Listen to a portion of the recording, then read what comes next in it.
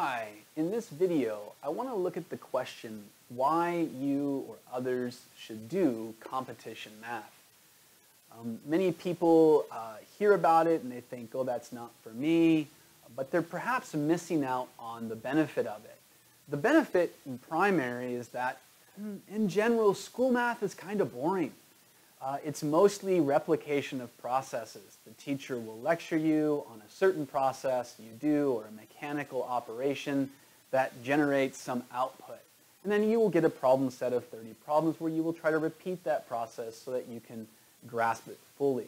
And that's great. There's an important usage for all of those things and it's, it's necessary, but it's not exactly enjoyable. Uh, the thing about competition math is they're carefully created questions that uh, are designed for uh, creative problem solvers. It's something like the joy you might get from playing the game 2048 or solving a Rubik's Cube or doing Sudoku. It's like a little puzzle. And your goal then, they've made it for you to enjoy solving that puzzle. Uh, school math doesn't really have that feature. You can think of it in a way that school math is how to write your letters maybe you learn how to write, you know, A, B, C, D, and so on all the way through Z, and that's what you learn in school.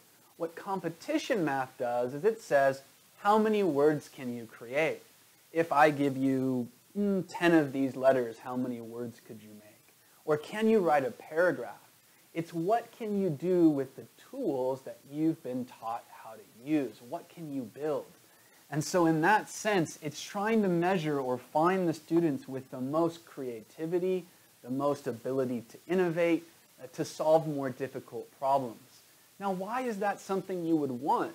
Well, there's many reasons. One of them is when you enter the workforce, uh, people who can solve other people's problems, uh, they tend to do more things and get higher uh, responsibility, which comes with more commensurate pay, and uh, they're asked to solve more of a company's problems in general. Or maybe you start your own company.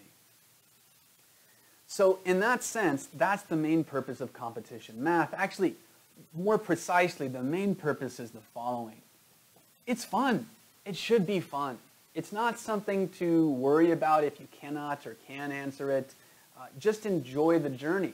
Uh, the primary reason to start competition math is this.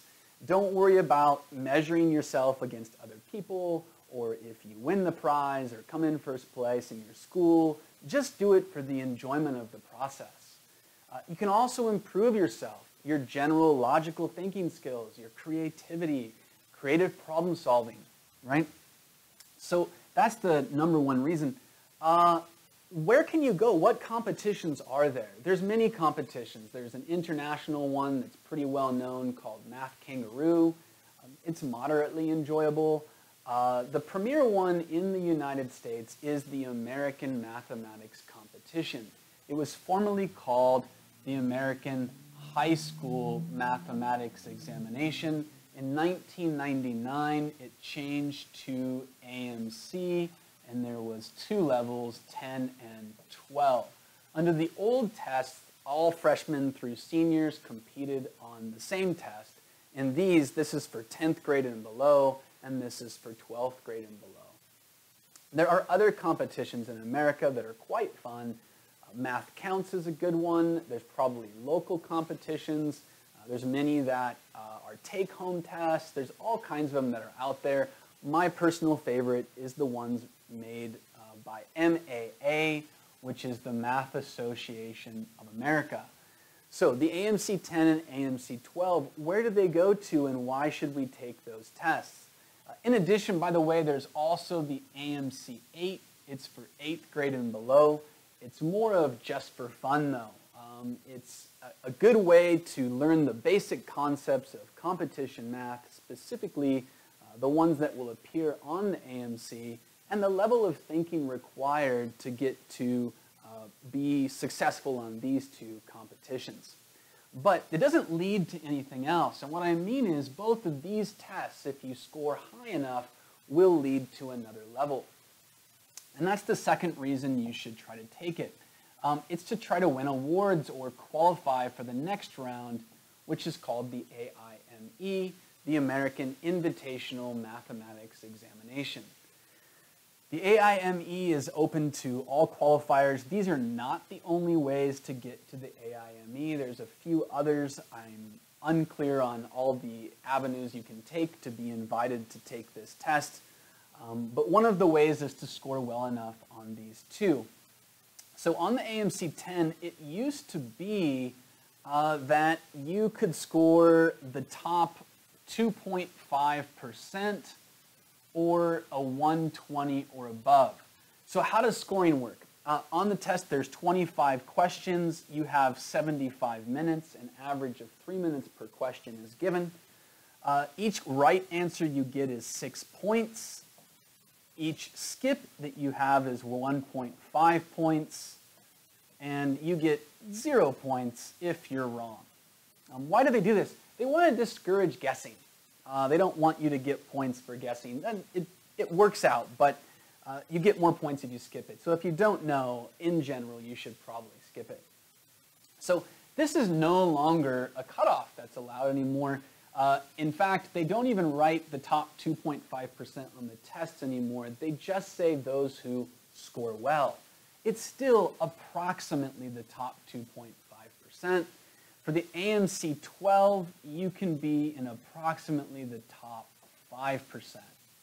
Now, once you get to the AIME, uh, this is a multiple choice test. The AIME is not a multiple choice test.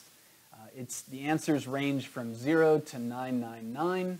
There are 15 questions, and you have three hours to do those questions, um, approximately 12 minutes per question, so a little bit more difficult so uh, we'll talk about what comes after the AIME in a moment.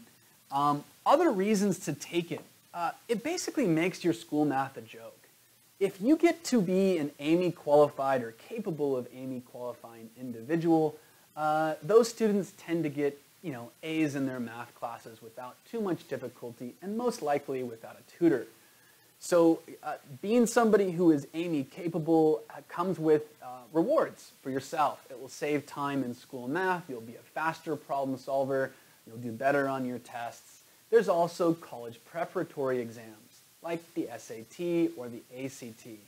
Typically, a student who's able to get AIME qualified, it's just about virtually guaranteed they're going to get an 800 on the SAT for the math portion and they're most likely to get it for the subject test level 2 for math as well. So those are also some benefits that come with becoming a good creative problem solver. Um, after the AIME, what takes place next is they combine your score from the AIME and the AMC 10, and if it's high enough, you are invited to take the USA JMO, uh, that's the Junior Math Olympiad. Um, it's approximately 300 or less students that take this competition. If you took the AMC 12, which is available to freshmen and sophomores as well, then you are able to, you must actually take, if you qualify with the AIME, the USA MO. Um, the USA JMO is only for 10th grade and below. Uh, this is for 12th grade and below. These two tests are both a six question uh, three out, no, you get how many hours? Uh, nine hours to do all six questions.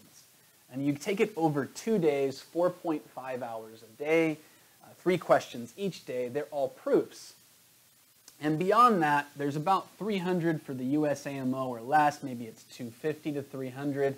Um, the students who score well on these competitions are then invited to MOP, the Math Olympiad program, which takes place in the summer.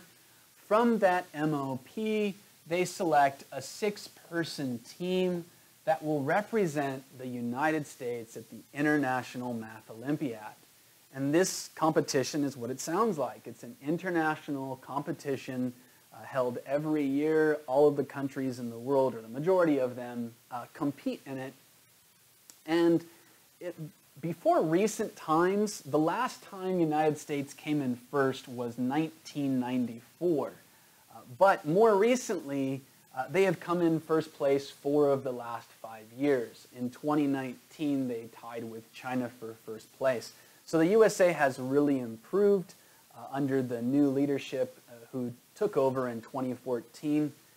Um, so why then you start this competition? It leads to future competitions.